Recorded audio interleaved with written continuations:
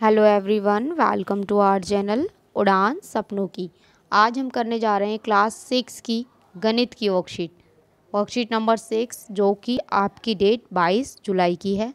यहाँ विद्यार्थी का नाम, कक्षा अध्यापक का नाम। बोर्ड गेम शुरू। भाई गेम है ये। अब इस गेम में क्या है? देखिए काउंटिंग लिखी हुई है। एक से लेके गिनती लिखी हुई है। कहाँ तक लिखी है? सौ तक की लिखी हुई है। यहाँ आपका अंत है। यानी कि यहाँ गेम ख़त्म हो जाएगा। अब क्या गेम है वो देखते हैं। बोर्ड गेम जो है, परिचय।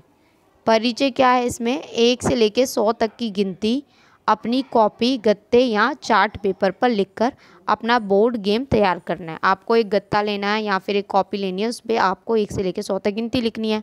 इस खेल को हम अपने परिवार के सदस्य दोस्तों के साथ खेल सकते हैं।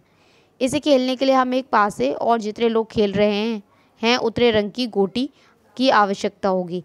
जैसे आप लूडो खेलते हैं ना, लूडो की तरह ही है। लूडो में आपने सांप सीढ़ी वाला गेम देखा है ना, उसमें हंड्रेड तक काउंटिंग होती है। ये लूडो खेलते हैं इससे और इस तरह की हमारे पास कलरफुल गोटियाँ होती हैं। जितने मेंबर हैं, उतनी गोटी चाहिए एक एक चाहिए। ठीक है? फिर इसे अब खेलना कैसे है? कोई भी इस खेल को शुरू कर सकता है। खेल को शुरू करने के लिए हम पासा फेंकेंगे और जो संख्या पासे पर आई होगी, उतने अंक छोड़कर पहले उस संख्या को बोलेंगे। जैसे अगर किसी का पाँच आया तो पाँच पे पहुँच जाएँगे। फिर बोर्ड पर जितने अंक, उतने अंक छोड़कर अपने रंग की गोटी बढ़ा देंगे। मान लीजिए आपकी ग्रीन कलर की गोटी और आपका छः आया तो आप छः पे पहुँच जाएँगे और छः पे अपनी गोटी रख देंगे। मान लीजिए संख्या पर तीन आया है तो आप क्या करेंगे? तीन अंक संख्या छोड़कर आपको आगे बढ़ना है।